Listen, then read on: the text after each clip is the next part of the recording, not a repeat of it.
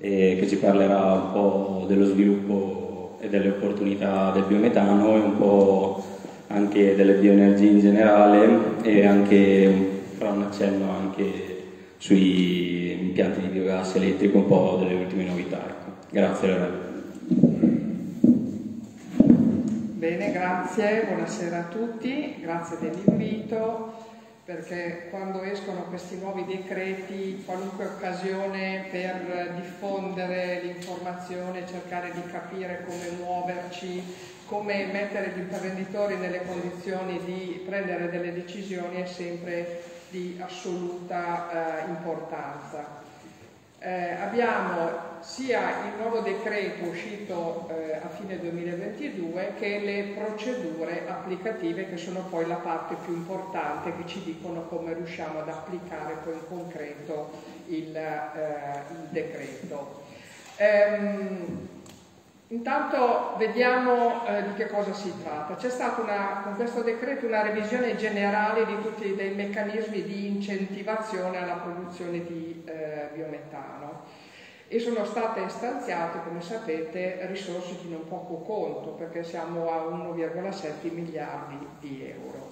Chi può accedere a questo nuovo decreto? Gli impianti agricoli esistenti, riconvertiti anche in parte, eh, purché alimentati da matrici non rifiuto, ehm, adesso non parliamo delle eccezioni, se no divaghiamo eh, troppo, e gli impianti nuovi alimentati sia da matrici agricole che da eh, rifiuti. Occorre però completare la realizzazione delle opere entro il termine inderogabile del 30 giugno 2026 e non devono essere già stati avviati interventi di qualunque genere prima della pubblicazione della graduatoria. Vediamo pian piano di che cosa si tratta. Ehm, come funziona questo decreto? Vengono eh, aperte delle procedure competitive. Eh, ne sono previste due all'anno, quest'anno ne hanno già fatte eh, una, ne abbiamo fatta una perché quella in ritardo del fine 2022 e per ogni anno ci sono dei contingenti di potenza, scusate, di capacità produttiva, non di potenza, messi a disposizione. Come potete vedere è eh, distinto in 67.000 standard metri cubi ora complessivi per il 2022, 95.000 nel 2023, 95.000 nel 2024. Viene aperto questo bando, la cui eh, apertura dura 60 giorni e il GSE deve valutare i progetti entro i 90 giorni successivi alla chiusura di ciascuna eh, procedura. Ehm, queste sono le date, quindi si sa già fortunatamente, almeno questo, quando si potrà accedere a questo eh, meccanismo di incentivazione. Vedete che la prima procedura è eh, stata aperta dal 30 di gennaio al 31 di marzo di quest'anno, sempre quest'anno ce n'è un'altra a fine luglio, dal 14 di luglio al 12 di settembre e un'altra a, a, a cavallo tra il 2023 e il 2024. E è indicata la relativa data in cui devono dirci se eh, il progetto passa e accede ai meccanismi. Ehm, ci sono dei tempi stretti perché eh, se eh, non si entra in esercizio entro il 30 giugno 2026 e non si rendicontano le spese entro il 30 di luglio del 2026, si perde il contributo in conto capitale, ma non l'incentivo alla produzione. Ci sono poi dei, c'è un tempo massimo entro cui occorre entrare in esercizio, che sono 18 mesi, ma non voglio entrare in troppi eh, dettagli, preferisco arrivare in fondo dandovi le informazioni eh, di eh, sostanza. Questa è l'informazione eh, più, più importante. Per accedere alla procedura competitiva occorre essere in possesso del titolo autorizzativo o chiaramente di documento equivalente se si eh, opera in procedura eh, semplificata. Avere il preventivo di allaccio alla rete se previsto, accettato e dimostrare il rispetto dei requisiti di sostenibilità. Poi vediamo di che cosa si tratta.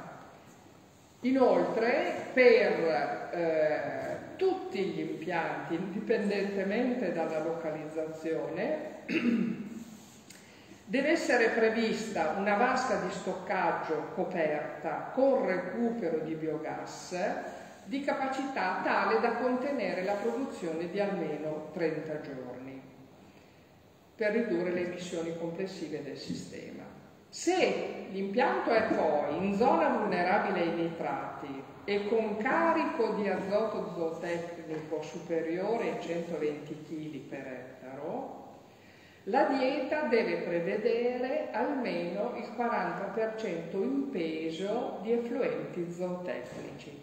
Quel limite in termini di carico di azoto zootecnico è stato inserito perché perché abbiamo province, zone in cui pur essendo dichiarate vulnerabili non c'è zootecnia. Faccio l'esempio, qua in Lombardia abbiamo la provincia di Pavia, in Emilia Romagna c'è la provincia di Ferrara e quindi chiaramente quando è balenata questa questione del 40% in quelle zone, detto, beh, noi come facciamo a riconvertire che gli effluenti zootecnici non ci sono? Quindi inserendo questo limite che è un limite che Regione Lombardia, Emilia Romagna e Piemonte si, si verifica molto facilmente, si capisce se si deve avere anche nella dieta il 40% in peso di fluenti zootecnici. Ehm, in caso di impianto eh, che riconverte parzialmente, quindi continua a produrre energia elettrica per gli anni di incentivazione che gli restano e produce biometano, occorre che eh, nella dieta presente nell'autorizzazione sia chiaramente spiegata la dieta e la relativa destinazione, cioè quanta e quale biomassa dal biogas che continuerà a produrre energia elettrica e quanta e quale biomassa andrà a produrre il biometano. Quindi l'autorizzazione deve partire bene, cioè deve già prevedere la dieta giusta anche per la verifica della sostenibilità. Entriamo in un altro aspetto importante. Allora, ripeto, questo de decreto incentiva la produzione di biometano sia per i trasporti che per altri usi. Okay? E la tariffa incentivante è esattamente la stessa. Okay? Che differenze ci sono tra queste due destinazioni? Delle differenze di sostanza, nel senso che per il biometano che andrà ai trasporti devo usare solo matrici che danno biometano avanzato. L'impianto di Emilio produce biometano avanzato perché usa biomasse avanzate. E ai fini della eh, sostenibilità deve dimostrare di risparmiare almeno il 65% di emissioni rispetto al cosiddetto combustibile fossile di riferimento, che è quella fonte fossile che con il nostro biometano per i trasporti andiamo a sostituire. Quindi bisogna produrre un biometano che abbia meno, adesso tanto per darvi un'idea del numero, meno di 33 grammi di CO2 per megajoule di energia, perché se fate il calcolo il 35% di 94 dà quel numero ma non facciamo un passo avanti. Per gli altri usi invece non abbiamo nessuna limitazione alle biomasse utilizzabili, possiamo usare ancora anche il mais. tanto per andare dritto al sodo, no? Ma quello che conta, ho poi il paletto del 40% di effluenti zootecnici se sono nelle condizioni che dicevamo prima, ma quello che conta è il rispetto della sostenibilità. Io adesso di questo tema non ne parlerò troppo perché sennò vi tengo qua fino alle due di stanotte, che non è il caso, e quindi risponderò poi alle domande. Comunque quello che conta è garantire un risparmio più difficile, risparmiare almeno l'80% rispetto a un numero più basso di 80 grammi. Ok? Quindi libertà di azione nella dieta, ma comunque Scordatevi di fare del biometano per altri usi solo con del mais, perché le emissioni sarebbero troppo alte, sempre per andare dritto al sodo. Bisogna trovare la giusta dieta, un po' di mais, un po' di altre colture, un po' di sottoprodotti, un po' di effluenti zootecnici e l'impianto fatto bene in modo tale che le emissioni raggiungano siano talmente basse da risparmiare, da consentirci di risparmiare l'80%. C'è una norma UDI che aiuta a fare i calcoli velocemente, eh, ma di questo ne parleremo la prossima volta. Ehm, rispetto al decreto 2 marzo 2018, che è già il, primo decreto che ha incentivato il biometano per i trasporti, c'è qualche differenza perché sono diventati più rigidi in relazione alle matrici utilizzabili, ma qui risponderò alle domande se poi ci, eh, ci saranno.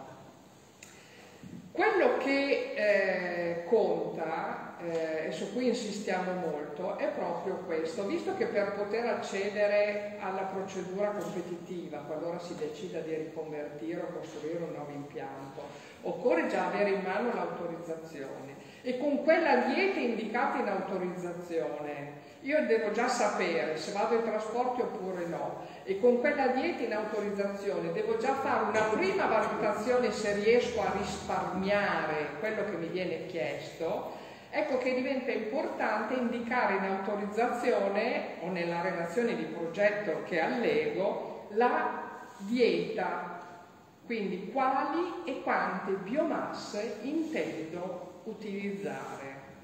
D'accordo? Questo è di fondamentale importanza perché altrimenti non si può accedere alla procedura competitiva. La certificazione della sostenibilità in fase di accesso alla procedura si può fare in due modi.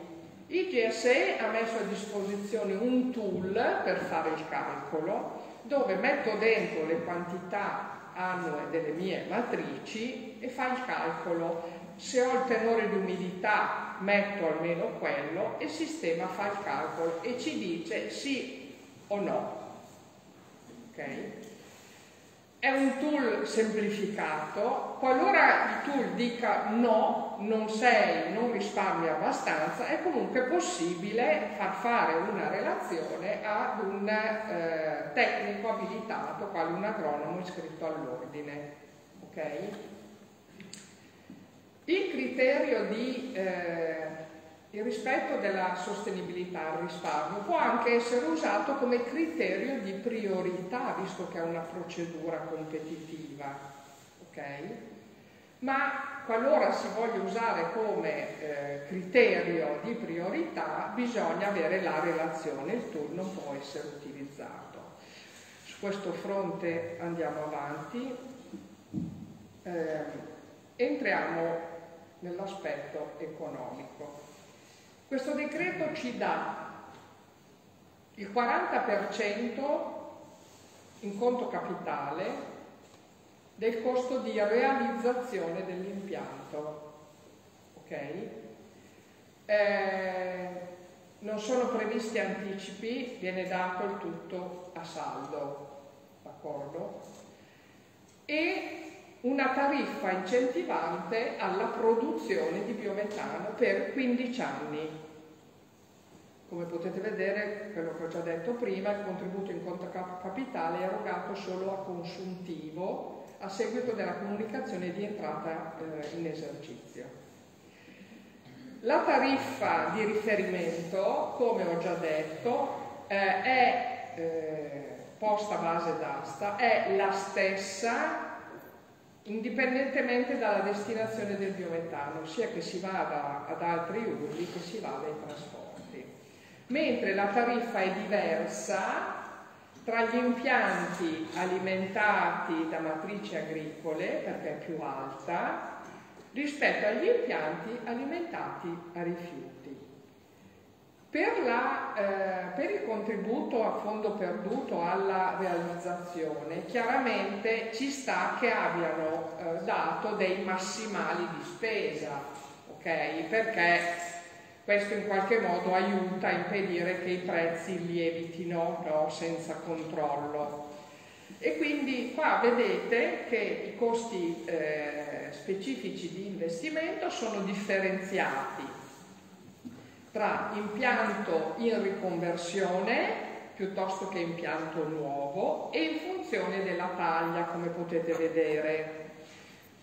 D'accordo? Per cui eh, l'impianto da 250 standard metri cubi nuovo eh, a fronte di un investimento massimo ammesso di 7,25 milioni di euro prenderà un contributo a fondo perduto di 2,9 milioni di euro se invece è una riconversione, il costo massimo ammesso è poco più di 3 milioni di euro e prenderà un contributo a fondo perduto di 1,26. Questo è l'esempio. Eh? Sì, ok, sì. I 250 standard metri cubi ora di metano è il corrispettivo del megawatt elettrico, i 500 metri cubi ora di eh, biogas fatto bene a dirlo perché io lo do un po' per eh, scontato, ma assolutamente. Mentre vedete che gli impianti alimentati a rifiuti hanno un costo, eh, un massimale di spesa più alto, eh, ma ehm, solo per i eh, nuovi impianti. Non è finanziata la riconversione di impianti alimentati a rifiuti. Le spese ammissibili, adesso non stiamo a entrare nel dettaglio, se no, ripeto, facciamo, eh, facciamo, le ore piccole, chiaramente eh, ci sono, da, sono, dati dei limiti, poi chiaramente uno ci può mettere eh, tutto se sta dentro nei massimali, se non sta dentro nei massimali non potrà metterci tutto, dovrà decidere eh, fondamentalmente, d'accordo? Comunque trovate tutto poi anche scritto nelle eh, procedure. Vediamo l'altro aspetto interessante, la tariffa di riferimento. Per capacità produttive sino a 100 eh, metri cubi ora siamo a 115 euro come tariffa di riferimento per megawattora, mentre sopra i 100 standard metri cubi siamo a 110 il mondo dei rifiuti prende 62 euro a megawattora. Questa è la tariffa di riferimento. Il problema è che è una tariffa che per gli impianti che partecipano alle procedure dal 2024 sarà ridotta, lo dice il decreto, del 2%. E Siccome è una procedura competitiva, bisogna comunque indicare una percentuale di ribasso di almeno l'1%. La percentuale di ribasso può essere eh, comunque minimale rispetto all'1 perché si, posso, eh, si, può arrivare a due decimali, quindi può, uno può dire eh, propongo un ribasso di almeno l'1,01, ok? Per richieste di accesso maggiori rispetto al contingente ovviamente va avanti eh, chi eh, ha offerto il ribasso eh, maggiore. In questa fase insomma mh, diciamo che non si prevede che ci sia un grosso rischio di saturazione dei contingenti inizialmente, però staremo a vedere. è comunque previsto una, eh, la possibilità di rivedere eh, la eh, tariffa. Andiamo avanti, la, la, la tariffa è, proprio, è riconosciuta sulla produzione netta, nel senso che i consumi per gli ausiliari vengono eh, depurtati. Eh, perché? Per assoluto rigore eh, di impostazione eh, come voluto dalla, dalla, Commissione europea. La decurtazione dei servizi ausiliari può essere forfettaria, infatti nelle procedure sono indicate delle percentuali, oppure eh, si possono eh, prevedere dei momenti di eh, dimostrazione dei propri eh, ausiliari oppure, come vediamo dopo, se gli ausiliari sono a loro volta eh, serviti da energia rinnovabile fornita ad esempio dal cogeneratore non c'è nessun taglio, ci sono procedure, eh, le modalità sono ben descritte nelle procedure eh, applicative. La tariffa omnicomprensiva un po' come la TO elettrica, è la tariffa di riferimento decurtata della percentuale di, eh, di ribasso. La tariffa premio invece è la tariffa omnicomprensiva decurtata del prezzo medio del gas naturale della, e delle garanzie d'origine. Ripeto, non è eh, banale l'argomento, non riusciamo a sviscerarlo eh, in toto stasera, quello che conta è capire eh, questo. Per gli impianti di capacità produttiva fino a 250 standard metri cubi all'ora, ripeto, il megawatt elettrico equivalente, qualora sia nella situazione di mettere in rete con obbligo di connessione di terzi, può scegliere di cedere tutto al GSE, scusate, e si prende la tariffa in toto, incentivo, valore del gas, valore della garanzia d'origine. Ok?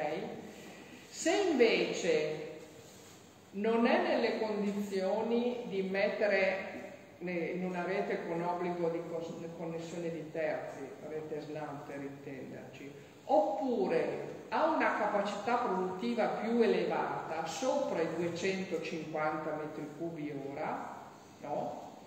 prende la tariffa premium, prende l'incentivo, la molecola la vende autonomamente, la deve vendere autonomamente ma il totale è comunque sempre dato dalla tariffa omnicomprensiva. Per quanto riguarda, eh, allora capisco che non, sia, eh, non è così eh, immediato, però insomma eh, siamo poi eh, qui per cercare di spiegare meglio eh, e rispondere alle domande. Come dicevo prima, per quanto riguarda gli ausiliari, vedete nelle procedure sono state eh, determinate per le diverse, sono state individuate delle sezioni di impianto e stabilite delle percentuali forfettarie di decurtazione. Però c'è appunto la possibilità di eh, un aggiustamento una tantum facendo delle misure specifiche per le diverse sezioni atte a dimostrare, no? Guarda che io non consumo quello che tu mi dici e mi vuoi decurtare, consumo di meno, oppure addirittura nei casi in cui gli ausiliari sono alimentati da fonti rinnovabili, tutti i mesi dimostri che hai usato fonte rinnovabile per alimentare, quindi eh, energia elettrica e calore per alimentare il tuo impianto di biometano e quindi non ti viene decurtato eh, nulla. Allora, questo è il quadro sintetico eh, del decreto eh, biometano. Il tema sostenibilità è un tema eh, con cui eh, tutti gli impianti di biogas agricoli, soprattutto sopra una certa taglia o che producono biometano, devono e dovranno fare i conti regolarmente, ormai è una strada eh, tracciata. Mi permetto di dire questa, dire questa cosa perché eh, da un lato è un onere in più, eh, sono sicura che Emilio eh, vi spiegherà eh, poche parole di che cosa si tratta, ma eh, è la strada obbligata per dimostrare che l'agricoltura è in grado di produrre le solite parole, ma è così, cibo, mangimi e anche bioenergie perché le bioenergie quando le produce sono prodotte in modo sostenibile, evitando la competizione col settore eh, alimentare. E quindi la strada della certificazione della sostenibilità è un po' una strada obbligata. Due slide sulla produzione, sull'incentivazione della produzione elettrica, perché sappiamo tutti benissimo che non è da tutti, non tutti riusciranno a convertire biometano per mille motivi, per distanza dalla rete, per dimensione, eccetera, eccetera. Quindi il cosiddetto decreto eh, FER 2 è in lavorazione, il CIB ha speso eh, e continua a spendere energie su questo fronte, il decreto è stato notificato a Bruxelles, non è ancora tornato indietro, quindi stiamo aspettando che ritorni. I punti salienti sono questi, costruzione di nuovi impianti fino a 300 kW e quindi queste sono le richieste inserite nella versione inviata a Bruxelles, però ripeto, non sappiamo se quante siano state accettate. Quindi è stato chiesto con forza che per gli impianti fino a 300 kW nuovi non venga imposto nessun limite di distanza dalla rete del gas, perché è l'impianto aziendale. Per la riconversione degli impianti esistenti si è lottato fino alla morte eh, anche con l'aiuto della conferenza delle regioni e quindi quel limite di 3 km di distanza dalla rete è stato ridotto a un chilometro e mezzo, quindi se si è oltre il chilometro e mezzo si ha diritto, questo è quello che, viene, che è stato chiesto, di proseguire la produzione elettrica. Sicuramente eh, con il, anche con il FER 2 l'obbligo di copertura dello stoccaggio per 30 giorni con recupero di biogas ci sarà perché il CH4 residuo del digestato ha potente effetto serra. Il fatto di avere la vasca coperta aiuta moltissimo anche per fare i calcoli della sostenibilità quando si ha questo obbligo a rientrare più facilmente e quindi dà più libertà poi sulla dieta da utilizzare. Sicuramente si andrà verso un adeguamento della dieta in una qualche maniera, quindi l'impianto a solo mais, insomma lo sappiamo un po' tutti, ormai l'abbiamo un po' capito tutti che dobbiamo un po', poi anche, anche perché in realtà poi quanti sono, no? non penso che siano ancora tanti. E rispetto dei criteri di sostenibilità anche per gli impianti eh, che producono energia elettrica ma sopra soglia se, ripeto, nel momento in cui si eh, aderirà a un nuovo sistema di eh, incentivazione.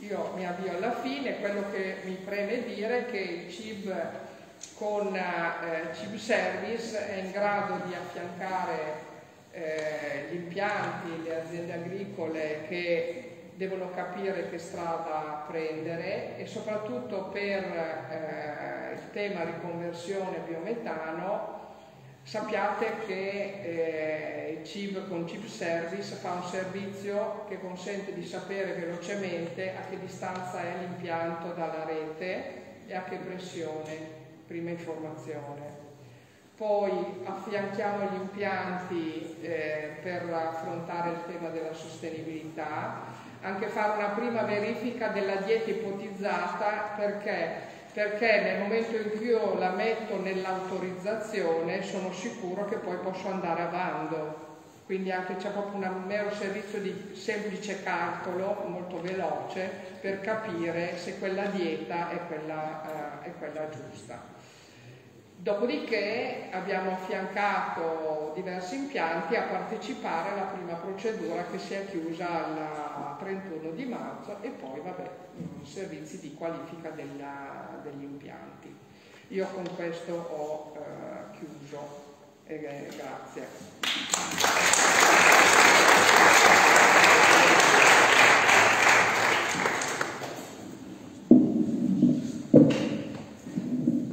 Grazie Lorella per la chiara presentazione. Mi rendo conto che siano tematiche abbastanza complicate e articolate, quindi per chi le sente magari per la prima volta eh, può essere un po' impegnativo. Eh, quindi mi raccomando per dopo se qualcuno ha domande o curiosità di di, di, di, non avere vergogna di, di farle pure. Io mi sono appuntato alcune cose, poi dopo magari le, le diremo. Mi è piaciuta molto intanto eh, la, la, frase che l'agricoltura può produrre veramente energia in maniera sostenibile, ma per davvero. E questa qui è una cosa che anche noi come associazione eh, dobbiamo, dobbiamo far comunque passare. La bandiera, scusate, non vuole sapere di stare sul posto. Però eh, niente, dicevo, dobbiamo, dobbiamo cercare di, di, far passare e portare comunque eh, fuori questo messaggio perché siamo spesso visti comunque come gli inquinatori del pianeta e mentre non sottraiamo comunque cibo per, per creare energia e quindi questa rispetto per dire una nave gassiera che viene eh, fa due o tre mesi di navigazione e poi bisogna rigassificare, insomma mi sembra una cosa abbastanza complicata e, e, costosa sia a livello economico che, che ambientale. Quindi, quindi, questo dobbiamo essere bravi anche noi come associazione a, a, a fare propaganda e quindi a portarlo fuori. Eh, lascio la parola a Emilio che ci farà vedere il suo case study e, e ci farà vedere un po' cosa ha fatto nella sua azienda e ci dirà un po' in maniera un po' concreta come convertire l'impianto e poi gestirlo anche, che penso che sia una cosa comunque che interessa un po' a tutti capire come fare. Ecco. Grazie. Grazie Paolo e grazie a tutti. È un buon piacere essere qua stasera, tra l'altro non ho dovuto neanche fare tanta strada perché io abito a Zanego con la mia famiglia da generazioni. Eh, mio nonno e mio omonimo eh, mi sgriderà perché non so quante generazioni sono, di cui io faccio parte insomma, eh, di questa storia ormai. Ehm, io magari vi parlo brevemente anche un po' del mio percorso prima di essere rientrato in azienda. Io ho fatto um, 5 anni a Milano, mi sono laureato in scienze agrarie e poi in biotecnologie poi sono stato circa un anno e mezzo eh, in American State University in cui eh, ho fatto vedere a loro per una volta, eh, sono stati molto interessati, ho lavorato con questo mio advisor, il professor Tom Richard, che era eh, specializzato, era direttore di questo dipartimento di ehm, scienze naturali, soprattutto sullo studio del suolo e dell'acqua. E io avevo fatto una presentazione sulla, sulla mia tesi triennale, lui faceva parte della, eh, insomma, di chi ascoltava questa, questa presentazione, poi ha presentato anche lui un suo paper, e parlandone è nata l'opportunità di poter andare là e lavorare insieme. E quindi abbiamo lavorato sui terreni di Rumello. Io ho portato i dati eh, che avevo raccolto con la mia tesi sui terreni di Rumello, l'apporto di carbonio, la digestato, i vari metodi che noi utilizzavamo per integrare il digestato e stava nascendo un paper, insomma eh, abbiamo fatto tanti lavori eh, sui nostri campi e alla fine eh, ho presentato questo lavoro eh, alla fine di questa mia esperienza e eh, in America si parlava degli, eh, del campo Ortaglia, del campo Vivo C, di Gumello e quindi da, da abitante di Zanengo è stato, è stato assolutamente un orgoglio poi ho deciso di rientrare in azienda, ehm, e negli anni insomma piano piano, eh, anzi abbastanza velocemente, ci siamo, insomma, eh, abbiamo incrementato il numero dei capi, aumentato eh, le produzioni di biogas e anche le superfici coltivate. Oggi noi mungiamo circa 380-400 animali in lattazione, abbiamo una superficie di 530 ettari e due impianti biogas, il primo eh, del 2009 un impianto Teni e poi un altro TS da 650 kW e il primo impianto, l'impianto Teni, è stato poi convertito in un impianto da 630 standard metri cubi più il cogeneratore che eh, fino al termine della tariffa andrà avanti a, ad esistere, andrà avanti a funzionare. Eh, già papà aveva lavorato eh, sull'installazione di queste tubazioni interrate che portano il digestato in tutti i terreni dell'azienda, quindi noi non abbiamo botti che girano, ma certo ci sono queste, eh, questa rete interrata di tubazioni che porta il digestato a tutti, eh, a tutti gli appezzamenti, l'ombelicale si attacca e interra il digestato. Poi all'interno della presentazione vedremo questo più, più nel dettaglio. Abbiamo una pavimentazione nella parte eh, delle strutture vecchie eh, ingrigliato con biocirca, quindi tutto l'icona viene recuperato immediatamente, viene inviato eh, con delle pompe apposite in impianto, quindi eh, sempre molto fresco, che questo va, va, molto bene per la pulita batterica e per le rese in impianto. Questo è come eh, sono sviluppati gli appezzamenti della nostra azienda. I due pallini che vedete sono i due digestori del primo impianto, quindi la grossa fortuna nostra è che appunto sono terreni tutti vicini e quindi ci hanno permesso di realizzare questa rete che porta eh, il digestato in tutti i campi. Questo è, l'impianto biometano, siamo partiti a immaginare questo impianto direi 5-6 anni fa ormai, quindi la strada è stata lunga, eh, mi prendono sempre in giro, mi chiamano il pianista, perché io sono quello che in azienda fa girare un po' i numeri a computer, e quindi i primi, i primi studi eh, sulla fattibilità di questo progetto ehm, sono andato a recuperare anche per preparare questa presentazione, era nel 2016, quindi è un po' che ci lavoriamo. Ehm, voi vedete in questa immagine, i primi due sono i due, i due grossi digestori che sono stati eh, realizzati in aggiunta all'impianto esistente, poi nella foto successiva si vede meglio. La parte dietro è tutta quella che ehm, lavora sulla pulizia e la separazione della CO2 dal metano, perché? Questo biogas è fatto circa del 55% di metano e il resto è anidride carbonica e altri gas. Eh, il gas sporco, diciamo, questo biogas, viene mandato in pressione a una grossa torre che toglie l'H2S perché è nocivo alle membrane. Il gas privo dell'H2S poi passa in altri sistemi di filtri eh, che si chiamano filtri a carboni attivi e vengono tolti via ossidi, che sono altri, un'altra tipologia di gas sempre nociva alle membrane. Questo, poi, eh, questo gas eh, ancora sporco viene eh, cioè, pulito da questo biogas ma ancora eh, composto sia da CO2 che da metano, va in un grosso compressore e lo, il gas compresso entra in questi sorta di cilindrotti, sono delle membrane giapponesi che mm, a grossa pressione separano la CO2 dal metano. Sono delle, dentro sono fatti come degli spaghetti molto sottili e questo gas in pressione all'interno degli spaghetti, questa membrana è permeabile, quindi fa passare delle molecole e non delle altre. Quindi si ottengono due linee di gas, quello da una parte rimane il metano e dall'altra la CO2.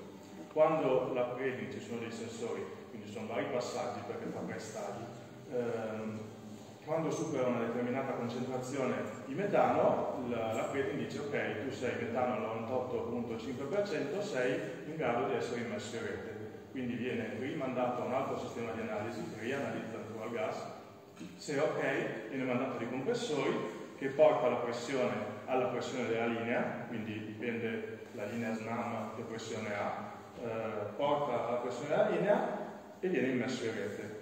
All'interno della cabina SNAM c'è un altro sistema di analisi che rianalizza il tuo gas e quindi se per loro non è a posto te lo rimanda indietro, quindi c'è un'altra occupazione che torna indietro e riunisce la CO2 al metano, quindi ridiventa biogas e ripete tutto il giro. Questo è il funzionamento a grandi linee dell'impianto.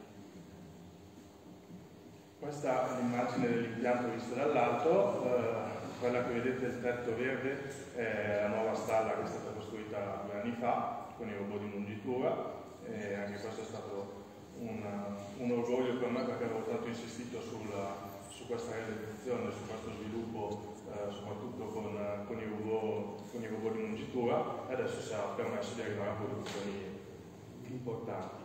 Ehm, qui vedete stalla, quindi liquame, liquame e le altre stalle sono eh, appena dietro, quindi vengono, tutti i liquami vengono eh, prelevati e immediatamente utilizzati. Poi i, i, due, i, due, palloni che vedete dietro sono l'impianto vecchio, quelli in prima linea invece sono quelli dell'impianto nuovo. Il digestato poi è eh, stoccato in queste due vasche, che sono le due vasche di stoccaggio, in cui prima viene separata la parte liquida e la parte solida. Quello che eh, Lorella vi ha spiegato prima è un po' l'aspetto sicuramente più difficile e più ostico eh, di fare biometano oggi, soprattutto per i trasporti, è quello di non competere, a fare questo appezzamento non deve competere tra uh, food e energy. Quindi all'interno del singolo appezzamento noi dobbiamo fare due colture, una dedicata al mercato e una dedicata all'energia. Non possiamo più fare mais in monocoltura e darlo all'impianto. Questo stiamo parlando del decreto 2018, quindi usi ehm, biometano avanzato per uso trasporti, non nuovo decreto. Quindi noi abbiamo dovuto rivoluzionare il piano economico dell'azienda e la vedete, lo vedete in questi numeri. Noi facciamo circa il 20% di mais in monocoltura, l'80% oggi della nostra superficie è coltivata in doppia coltura su 530 ettari immaginate che diventa, vuol dire lavorare 900 ettari quasi, quindi ehm, sono sicuramente tanto lavoro. Però eh, questo ti permette di crescere sia eh, come zootecnia che eh, dal punto di vista energetico. Questo è l'avvicinamento culturale che facciamo, quindi le varie culture, eh, prima sorgo, poi frumento, poi criticale, qui vedete tutto nel dettaglio. Noi abbiamo cercato di eh, spingerci sempre di più verso un'utilizzazione agronomica del digestato che eh, ci permettesse di non utilizzare più concime chimico. Eh, già da tre anni che ne utilizziamo ancora, eh, direi ormai veramente poco, cioè la spesa per il concime chimico eh, da dieci anni si è ridotta almeno di un decimo rispetto ai primi anni. Utilizziamo ancora un po' di olio in copertura, ma perché non abbiamo digestato a sufficienza. Ehm, perché appunto abbiamo cercato di ottimizzare possibile, in maniera, eh, insomma, di pensare di utilizzare tutto il nostro digestato nel miglior modo possibile. Quindi il digestato viene separato, il digestato penso che sappiate, sappiamo tutti di cosa parliamo, è quello che rimane alla fine del processo di gestione anaerobica. Quindi separiamo la parte liquida dalla parte solida, la parte solida viene utilizzata soprattutto nei terreni sabbiosi, nei terreni che hanno bisogno di, ehm, di un amendante, mentre la parte liquida viene stoccata nelle vasche di stoccaggio e poi eh, stiamo realizzando, prima era un sistema di pompe meccanico, eh, mentre adesso stiamo realizzando un sistema di pompaggio completamente elettrico in cui l'operatore eh, entra nell'appezzamento, attacca l'ombelicale in terra e poi quando eh, alza il sollevatore ferma la pompa e eh, il remoto può eh, gestire l'alimentazione delle, delle, pompe in gas e dell'ombelicale, quindi di conseguenza. Quindi tutto il digestato viene interrato e non essendoci botti non hai emissioni per il trasporto e soprattutto non hai emissioni né in termini di odori né in atmosfera di, eh, di azoto perché appunto il, il, il, digestato è sempre coperto e viene interrato immediatamente. Il sistema ancora più ottimizzato che, abbiamo, eh, che stiamo utilizzando in questi anni, prima attraverso questa macchina che si chiama Xerion e oggi eh, con il ferrovetto e con altre tecnologie che ci sono sul mercato, di gestato viene, eh, noi lavoriamo soltanto una striscia, questa eh, gestione culturale si chiama strip till, eh, quindi viene lavorata solo una striscia di 20 cm e il digestato viene anche interrato, quindi nella stessa striscia noi lavoriamo, eh, seminiamo e coltiviamo. Poi eh, dopo dovrebbe esserci anche un video, sì. questa è la macchina che lavora, vedete ci sono ancora i residui culturali dell'anno precedente, della, della cultura precedente. Eh, la macchina entra, con i, eh, entra, lavora la striscia, intanto semina e eh, interra il digestato. E quindi il seme ha tutto per poter, per poter nascere. Ovviamente non si può fare in tutti i terreni, questa, eh, ci vuole insomma, la tessitura adatta per, per poterlo fare, però una, la stiamo utilizzando sempre più spesso come lavorazione. Vi ringrazio e insomma per qualsiasi domanda.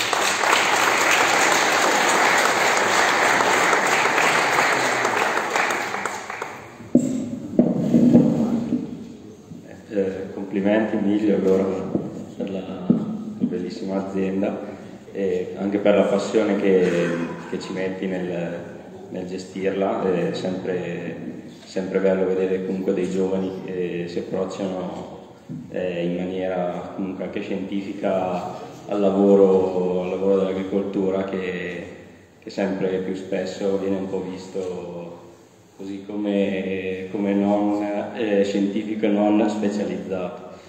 E invece realtà come la tua e come tante altre comunque dimostrano che invece ci mettiamo, ci mettiamo la scienza al servizio e, e, e lo studio ecco, dietro e anche visto che il tuo progetto parte dal 2016 non, non siamo un settore ecco, avventato. Eh, lascio ora la parola mm, a... Eh, facciamo prima le domande? Ok, allora facciamo le domande. Pa parto io, parto io, per rompere io. Eh, avevo una domanda eh, per Lorella Rossi, eh, un po' in, sulle eh, matrici non rifiuto e sui requisiti di sostenibilità. Se potevi un attimo darci un'idea di cosa sono le matrici non rifiuto e un po' dei requisiti di sostenibilità che vanno rispettati. Grazie. Allora, eh, nella, negli impianti di biogas agricoli, questa è una eh, peculiarità del biogas agricolo italiano, cosa, quali sono le matrici che possono essere trattate? Liquami zootecnici, colture, residui culturali e sottoprodotti agroindustriali. Ecco cosa si intende eh, con matrici non rifiuto nel senso che eh, l'azienda, cosa si intende per sottoprodotto? Quel flusso residuale di un processo di produzione che rispetta i requisiti del cosiddetto articolo 184 bis, nel senso che è un eh, materiale che sa, ha un'utilità in un altro processo produttivo entra in impianto senza trattamenti diversi dalla normale pratica industriale e soprattutto nel momento in cui viene prodotto si sa già che ha un'utilità in un altro processo produttivo, quindi ci vuole il contratto di ritiro del sottoprodotto tra produttore e utilizzatore. Un esempio concreto, la buccetta di pomodoro è un sottoprodotto perché non è certo un prodotto perché il prodotto è la salsa di pomodoro, quindi è chiaramente un sottoprodotto. Con un contratto tra produttore ed utilizzatore io dimostro che non mi voglio disfare di questo materiale, quindi non è un rifiuto per me. E nell'impianto agricolo è ammesso, non porta danni dal punto di vista ambientale e quant'altro. Come la buccetta di pomodoro, posso avere gli scarti di cipolla, posso avere tanti altri materiali come potete eh, immaginare.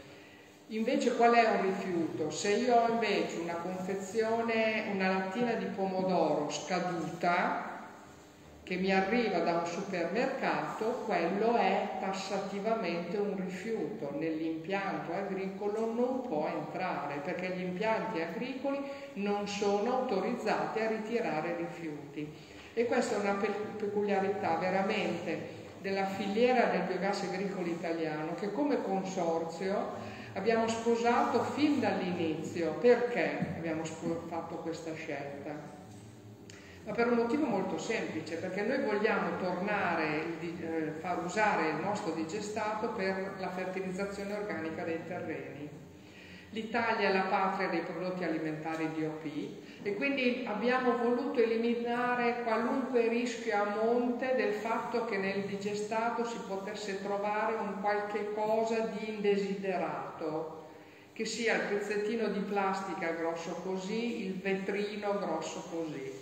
Quindi d'accordo anche col mondo rifiuti, no? per dire, abbiamo detto i rifiuti entrano negli impianti autorizzati a trattare i rifiuti, i sottoprodotti, quando rispettosi dei principi che la legge impone per essere classificati come sottoprodotti, possono entrare nei nostri impianti agricoli. Tant'è che il decreto che regola l'uso agronomico degli effluenti zootecnici e regola anche l'uso del digestato, dice chiaramente per il digestato quali sono le matrici ammesse in ingresso agli impianti e noi a quelle ci atteniamo da sempre in modo scrupoloso. Sostenibilità eh, è un tema eh, che meriterebbe, come dicevo, ma fondamentalmente in che cosa consiste?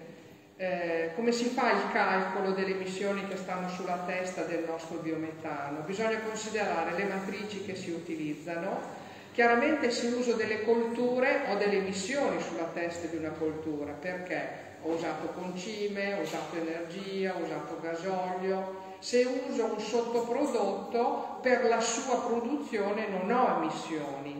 Poi c'è la sezione impianto, perché uso dell'energia per far funzionare l'impianto. Nell'impianto c'è poi anche lo stoccaggio del digestato. Se è scoperto ha delle emissioni più alte, se è coperto ed è una strada obbligata, sappiatelo, anche, anche se continu chi continuerà a produrre energia elettrica con il nuovo decreto FER 2 eh, ammesso che arrivi e che una cosa che non ho detto prima che nel decreto FER 2 ricordo non c'è la tariffa perché la tariffa sarà determinata con un atto successivo ma sarà una tariffa impostata in, in termini di copertura dei costi di funzionamento. Comunque anche chi continuerà a produrre energia elettrica dovrà fare i conti con questo aspetto e ripeto, la vasca di stoccaggio coperta con recupero di biogas per almeno 30 giorni è una condizione sine qua non, sarà una strada obbligata, ok? A prescindere dall'incentivo. Anche per chi sarà sotto soglia e non dovrà certificare la sostenibilità, saranno comunque previsti quei requisiti tecnici che già di per sé garantiscono una produzione di un biometano con delle emissioni più basse sino ad arrivare, dicevo, quindi ho le matrici che mi hanno, possono avere delle emissioni se sono colture, ho l'impianto e poi ho l'efficienza dell'upgrading, perché? Nell'upgrading ovviamente nel cosiddetto off gas un minimo di perdita ancora di CH4 ci può essere Okay? Può essere minimale, può essere dell'1% e quindi anche quelle sono emissioni. Quindi l'insieme, no? la somma di queste emissioni date da queste fasi eh, ci consente di arrivare a quel numero finale che ci permette di dire sono sostenibile o meno. Ma c'è una norma UNI che ci aiuta moltissimo, in revisione perché ci aiuta moltissimo? Perché contiene tutte le emissioni per tutta una serie di colture, per i, per i sottoprodotti e quant'altro per consentire agli operatori e noi lì io personalmente ho, ho, dedicato sempre moltissima attenzione perché la reputo molto utile, consente appunto agli operatori di fare i calcoli in modo più facile perché si trova dei numerini già pronti. Okay? In fase gestionale poi la, la sostenibilità va dimostrata per ogni lotto prodotto. Cosa significa essere certificati? E poi Emilio eh, ve lo sa dire, ve lo racconta. Vuol dire chiamare un organismo di certificazione accreditato, Accredia, e sono sempre gli stessi, CSQA, SGS, Bureau Veritas, che vengono in azienda e verificano che cosa? Se voi siete in grado, come gestori dell'impianto di biogas e biometano, di garantire tracciabilità e rintracciabilità di tutte le matrici che utilizzate e che tutti i lotti, tutta la produzione di biometano ha sulla testa sempre un numero, le emissioni basse, non è che si fa una volta la verifica. Ok? Dopodiché l'organismo di certificazione vi dà il suo numerino e poi siete, è il produttore che rilascia il certificato di sostenibilità e senza certificazione non si prende l'incentivo, cioè non c'è alternativa. Quindi questo in poche parole eh, poi non, non dette neanche poi così poche, però insomma ho cercato di dare la, i concetti di base. Fare una, una richiesta, volevo chiedere, avete parlato di sottoprodotti, sì. centri di pomodoro rispetto sì. al pomodoro, farinetta di mais rispetto a, alla granella di mais, la farinetta è un sottoprodotto? Sì, è un sottoprodotto della lavorazione dei cereali, esatto. Allora, eh, se si va ai trasporti bisogna verificare molto bene che sia una biomassa ammessa per i trasporti, perché a memoria alcune me li ricordo, alcune no, quindi a, a scanso di equivoci per non dire sciocchezze mi vado a prendere la mia Bibbia e mi vado a verificare voce per voce. Se per andare agli altri usi lei lo ritira come sottoprodotto con contratto, oppure se c'è un intermediario comunque ci sono delle regole da rispettare, ma è un sottoprodotto. Quindi in fase di quando si parla di produzioni certificate qual è il concetto di base? Che bisogna scordarsi un pochino di andare al mercato, come dico io, e dire di sì alla prima camionata che passa sono finiti per chi fa biometano quei tempi. Ricollegandomi, scusi, può fare una domanda che si ricollega a quello che ha detto.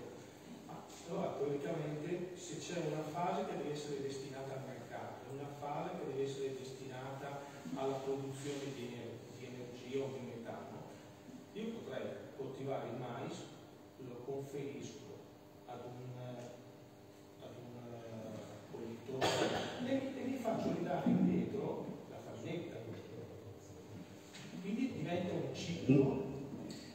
Sì, assolutamente sì. Il, allora, eh, per correttezza, il tema ehm, della doppia coltura che abbiamo visto prima, eh, ok, è per biometano avanzato, ok? Comunque sì, eh, assolut- assolutamente. La prima coltura avviene già il sottoprodotto che deriva dalla prima coltura e la seconda coltura viene già destinata a questo. Certo. Un altro possibile esempio sono gli stocchi di mais. Sì.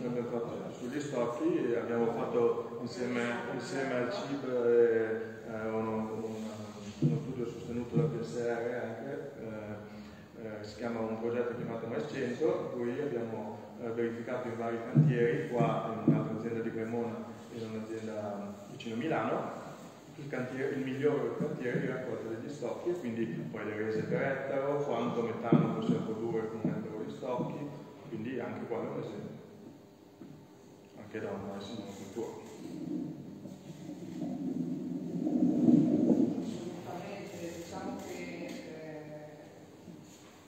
la, la sostenibilità eh, può spaventare, ma in realtà io dico è un modo anche per, per, per mettere ordine nel processo gestionale, per fidelizzare i fornitori, per massimizzare davvero l'approccio circolare alla, alla, alla filiera, diciamo così. È anche una, un rapporto davvero che inizia a crearsi con il fornitore essere una persona eh, che faccia parte del team diciamo, della, della, produzione del, uh, dell'impianto di biometano va, uh, deve farsi firmare un audit, quindi uh, va dal conferente della buccia di pomodoro e dice quanti pomodori lavori con l'anno, quindi produrrai tot buccette, e con tot buccette io posso ritirare il tot per cento della tua produzione annuale. In base a questo si crea un contratto tra chi, chi fornisce delle buccette scusa, qui stiamo facendo un esempio solo, per quanto come ha detto anche il Cambiare, solo per quanto riguarda la situazione dell'uso avanzato, cioè l'uso trasporto. Nell'altra situazione invece sono il limite eventualmente di verificare della presenza dell'azienda dei terreni in ZVN, quindi il 40% di quali si sono in quel territorio. Altrimenti sull'uso delle matrici non ho nessuna... No, no, posso usare quello che voglio, ok? Però la certificazione resta comunque, cioè tu e i fornitori li devi individuare, d'accordo? Perché eh, rientra nel concetto di garantire sempre la tracciabilità e la rintracciabilità. Ok? Conta e poi il calcolo del un esempio concreto, mais per fare il biometano per i trasporti avanzato non puoi usarlo. Quello Punto. però nell'altro, Ecco. nell'altra invece non soluzione sì, ma comunque devi sapere se non è di tua produzione, devi avere il contratto con l'agricoltore che te lo dà, ci sono delle verifiche dei terreni da fare e quindi devi sempre essere in grado di dimostrare a ritroso che quell'azienda ha i terreni per fare quel mais dal suo piano culturale, perché poi si usano comunque documenti ufficiali, non è che se ne debbano inventare. Invito i giovani di studiare la blockchain per il discorso di proporre. Esatto. Il processo di, in sintesi, il processo di, eh, che tu fai per la sostenibilità è lo stesso, di rinversabilità. Cambia solo quale matrice puoi usare poi cambiano anche eh, Esatto. dei valori diversi sul Esatto. carburante di riferimento. Sì, esatto. Poi un sottoprodotto è sempre un sottoprodotto, ci vuole il contratto, qual è la differenza? Che per gli altri usi vanno bene tutti, per i trasporti devi verificare se va bene. Ecco, questa è la, questa è la, la differenza. Per cui chi ha magari la rete lontano oppure ha le biomasse avanzate può andare ai trasporti perché è più facile garantire la sostenibilità, perché raggiungere il 65% di 94 è un po' più facile, perché le emissioni sono un po' più alte, se vi ricordate. Mentre per gli altri usi sei libero di usare quello che vuoi, però devi, devi essere, puoi arrivare al massimo a 16 grammi, quindi un pochino più impegnativo.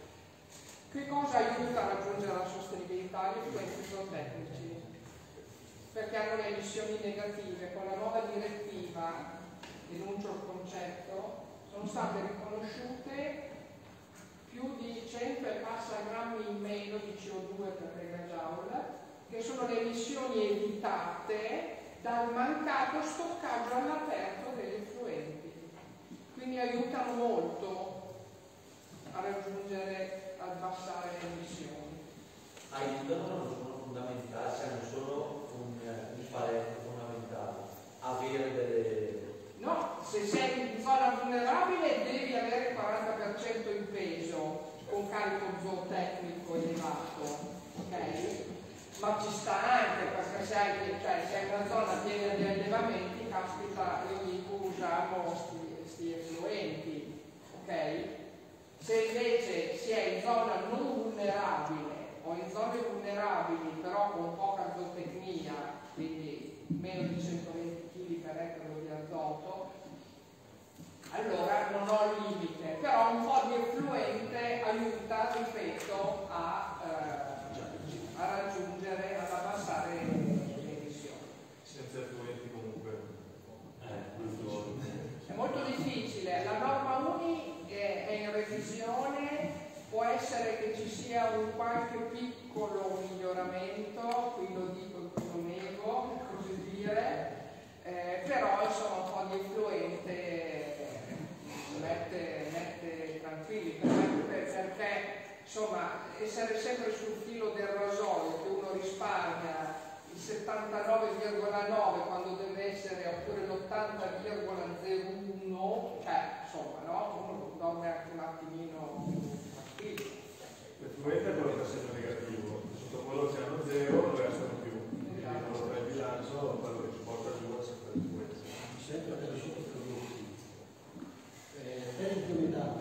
riguardo i dell'elenco dei sottoprodotti che sono stati imposti per il gas. Nel piano di azione c'è un elenco di sottoprodotti anche industriali, oltre i quali, eh, cioè al di fuori di quello, il digestato non è più considerato esatto. utile non è considerato esatto. rifiuto. Sì. Per il biometano vale, vale lo stesso elenco oppure per adesso il biometano è fuori da quella No, non è fuori, parte, non ci sono tutti i sottoprodotti che sono nel decreto influenza. quindi è ancora più limitante. Sì, è più limitante,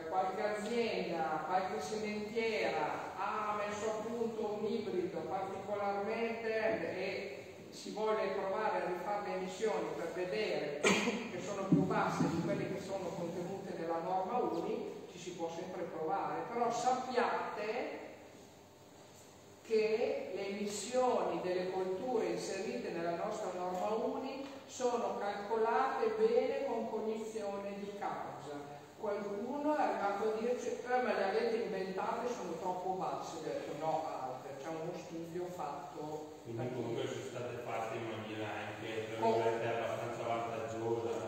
Eh, corretta secondo i criteri del GRC ma hanno passato il vaglio del Ministero, punto. No, perché in sostanza ci possono essere importanti Certo. differenze tra chi coltiva in un modo Certo, il E- suggerimento proprio per dire, perché non è banale fare il calcolo delle emissioni, non lo- non- sono calcoli che non è capace neanche noi come consorzio, noi non li facciamo, li abbiamo fatti fare, perché non è banale, eh, cioè se vi faccio vedere il file Excel del JRC, cioè lo aprite e poi lo richiudete. Cioè. Su come si coltiva sicuramente no, nel senso che è molto complicato, però poi sul prodotto sì, perché puoi usare le rese standard con le sul prodotto, ad esempio, hai la resa di metano per tonnellata o la mais, se utilizzi le rese standard è sempre Esatto. quello. Se usi quelle effettive, a seconda dell'anno del prodotto che tu hai, tu puoi modificare. Noi per esempio Esatto. utilizziamo tutte sì. le rese effettive. Tu, ogni una volta ogni sei mesi mandiamo, cerchiamo un campione del, dei, dei vari prodotti che utilizziamo in impianto e ti arriva l'analisi della sostanza secca, del quanto metano produce per tonnellata, eh, tu inserisci questi dati nel, nel calcolo, utilizzi quelle rese. Sì, sì, questo Quindi sul, sul prodotto puoi farlo, non su come viene coltivato cioè non è consigliabile, ecco, diciamo che è molto utile avere numero, anche perché c'è un altro, eh, adesso vi stuzzichere solo, non mi fermo più ragazzi, perdonatemi, ma ehm, eh, quando usiamo le emissioni che sono indicate nella norma UNI, sono le emissioni standard. Come emissioni standard cosa si intende? Sono le emissioni tipiche che hanno calcolato cervelloni maggiorate del 40%. Okay? Perché la, la, la direttiva dell'Europa come ragiona? Ti dice, caro operatore, se tu usando le emissioni standard che sono più alte del 40%, riesci comunque a risparmiare quello che io ti chiedo, ti semplifico la vita, usa le emissioni standard e non ti fare i calcoli sulla tua singola azienda, ok? Anche nella stessa direttiva le emissioni della coltura non sono maggiorate del 40%, quindi sono già, e questo è un aspetto importante e prezioso, mentre le emissioni della sezione impianto e upgrading standard sono maggiorate del 40% rispetto a quello che viene ritenuto un'emissione tipica.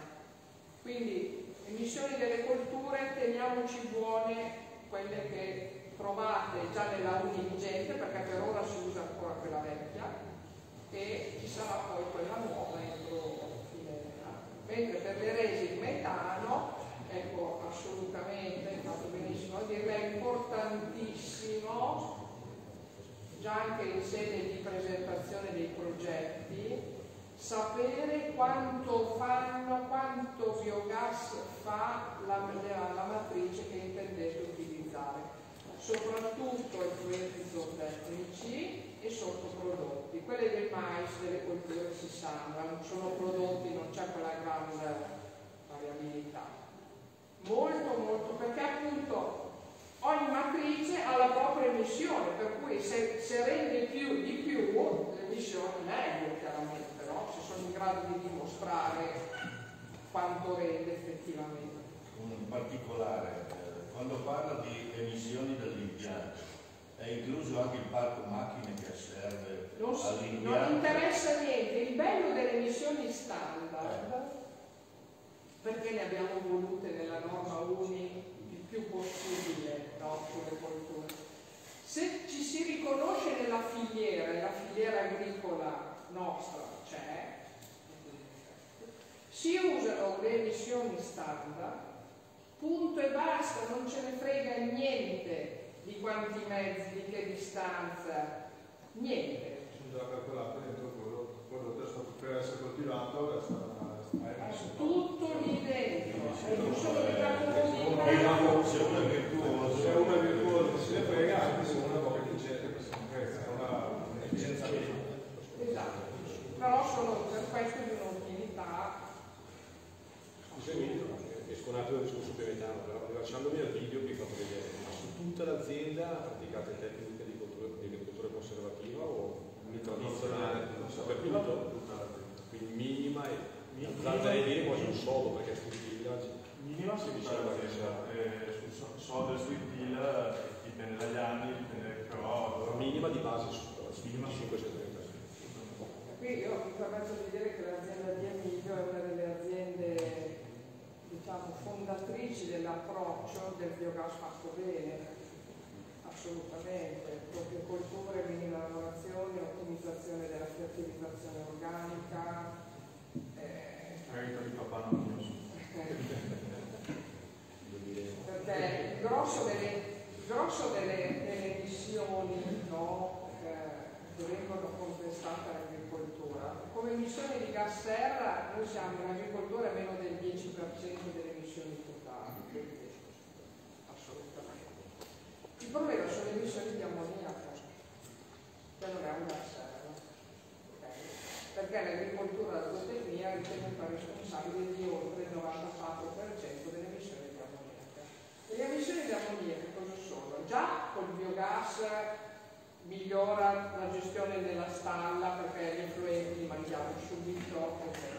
però poi è la distribuzione che conta, bisogna distribuire bene, bisogna distribuire Dopo bene. Dopo non una situazione di azienda contata così eh. no, ma d'accordo, poi con la rete interrata sì, però io adesso non ho qui l'immagine, io capisco tutto, però vedere su una statale il carro botte con i gettoni in alta pressione che distribuisce... Eh, quello no, eh, quello no, ragazzi. Eh. Quello no, però aveva fretta giorno lì.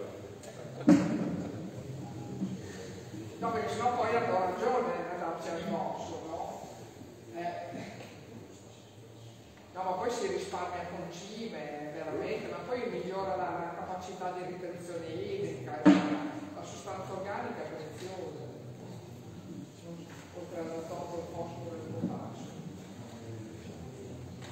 il e il per quanto riguardava la partecipazione al bando, sì. si, si, cioè ci sarebbe quindi un bando per il 2023, due bandi. Due, sì. Nel 23 e nel 24. Sì. Si chiedeva però di avere il, il permesso già per poter partecipare al bando, cioè il permesso vuol dire che devo già avere la candidabilità del, No, bisogna avere l'autorizzazione o documento equivalente. Cosa, cosa intendo per documento equivalente? In caso di di procedura amministrativa semplificata, eh, con silenzio assenso, diciamo il caso limite, perché se uno ha l'autorizzazione, ha l'autorizzazione appunto. In caso di PAS con silenzio assenso devono essere passati almeno i 30 giorni. Per cui se non sono passati i 30 giorni quella PAS non, non, non va bene. Ok? Quindi autorizzazione, preventivo di connessione alla rete accettato, se si è nelle condizioni, e la verifica della sostenibilità, non, non la cantierabilità assolutamente.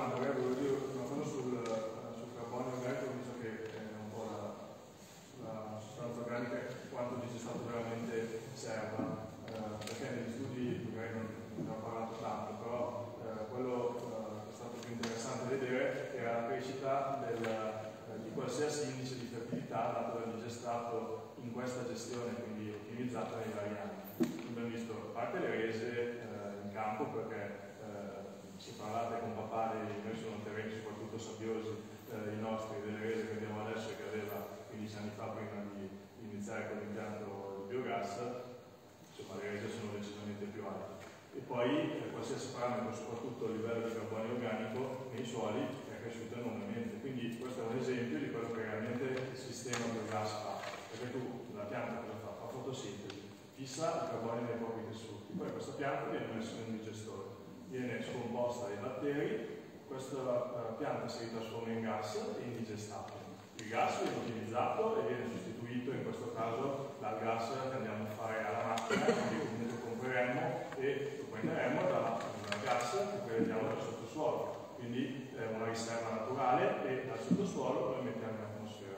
Qua stiamo prendendo, grazie alla pianta, dall'atmosfera che fissa il carbonio nei propri tessuti stiamo utilizzando questo carburante per muoverci, che è una necessità che abbiamo, e in più quello che rimane indigestato, se ottimizzato, se utilizzato in maniera giusta nel terreno, diventa a carbon sink, quindi carbonio stabile nel suolo. Perché? Perché il processo di gestione aerobica è un processo che stabilizza il carbonio. Perché? Perché il carbonio è più facile eh, che si trasformi che vada, taglia subito e diventa gas. Quello rimane è quello stabile. Quello stabile lo portiamo nel suolo, che è l'unico posto in cui eh, il carbonio può rimanere stabile e non è un danno perché l'atmosfera è un gas serra, mentre nella, nelle acque ad esempio ci limita eh, e quindi nel, nel, terreno rimane stabile e noi stiamo portando di nuovo carbonio dall'atmosfera al suolo.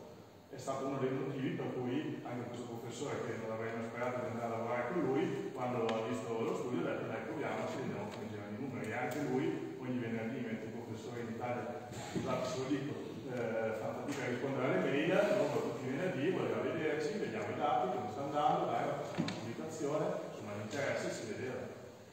E questa è la cosa che anche da, da giovane dà entusiasmo credere che questo sia stato giusto.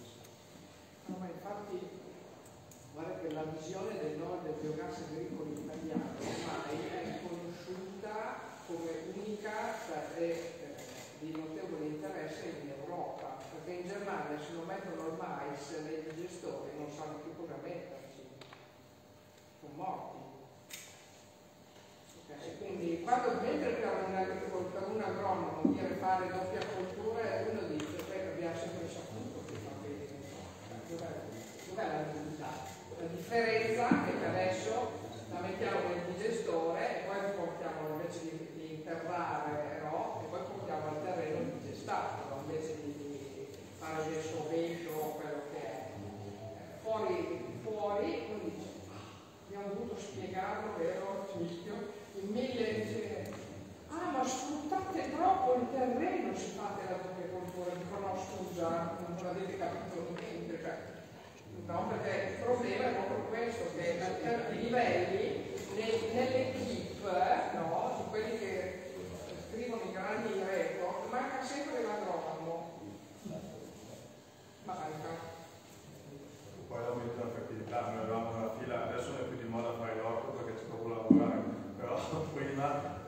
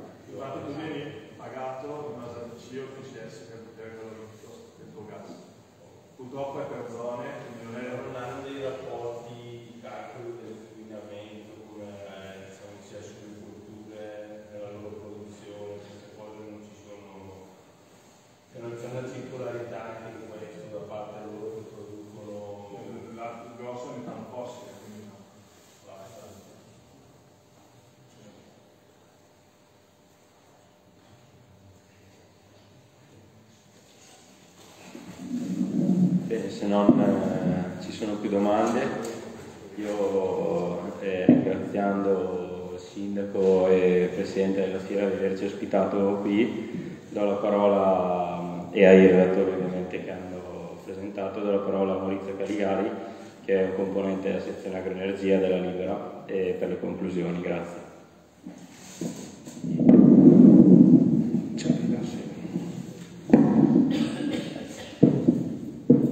È difficile concludere con degli esperti così, perché effettivamente sono stati chiari, ci hanno spiegato, prima dal punto di vista tecnico, procedurale, le cose da affrontare e poi Emilio ha portato la sua esperienza, la sua esperienza diretta e anche vicina alla realtà in cui stiamo parlando.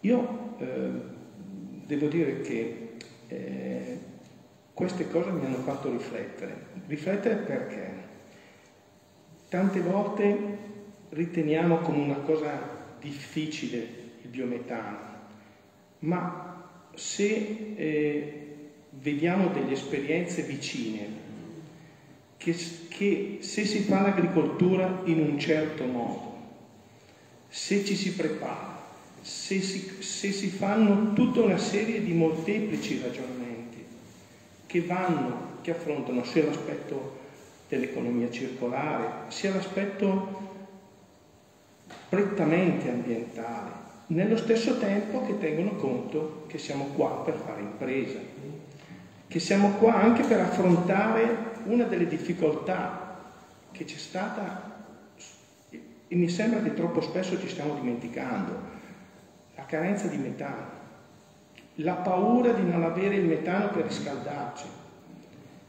E quindi eh, quando io leggo alcuni comitati che si oppongono alla realizzazione di impianti di biometano, mi pare che la memoria a qualche mese fa sia stata molto breve, ci siamo dimenticati. Io eh, ritengo che le analisi ambientali che sono emerse qua, i vantaggi che derivano dal fare determinate cose, siano stati abbastanza chiari, nel senso che dobbiamo renderci conto che a far bene le cose il vantaggio non è solo di chi le fa bene, ma anche di tutta la collettività, perché il concetto che diceva un attimo fa Emilio sull'aspetto del carbonio, come si suol dire, l'ultima cosa che dici, dopo ti rimane in mente, quindi sono partito appunto dal carbonio, Se non volevo trascurare tutte le altre cose eh, che hai detto, eh, ci devono far riflettere, ci devono far riflettere e, e, e devono essere anche capite da chi è all'esterno del settore agricolo. Forse è un errore anche il nostro, che tante volte non siamo capaci di comunicare queste cose. E, e quindi, cosa devo dire? Io spero che se gli agricoltori da soli non sono in grado di poter, a livello dimensionale, a livello di capacità tecnica, far da sole abbiano la capacità di unirsi, di unirsi, di, di cercare delle soluzioni anche consortili che possano realizzare eh, il biometano e eh, anche un miglioramento in questo modo ambientale, perché se il produrre digestato sulla base di accertati studi, ricerche, ha comunque un vantaggio ambientale rispetto all'utilizzo del refluo puro e semplice, è una componente da non trascurare questa. Ecco. Io eh, volevo dare una notizia a questo punto. La Libera Associazione Agricoltori ha stipulato con il CIB una convenzione nella, eh, nella quale innanzitutto si determina la distanza dal punto di emissione e la pressione di emissione e poi nello stesso tempo e poi c'è un'altra che determina la sostenibilità che sono degli elementi preliminari ad ogni valutazione per poter fare il biometano. Quindi utilizziamo questa convenzione perché serve per farci capire le nostre possibilità potenziali agricole. A questo punto per, le, per i saluti passo ancora a Paolo e ringrazio Paolo per la brava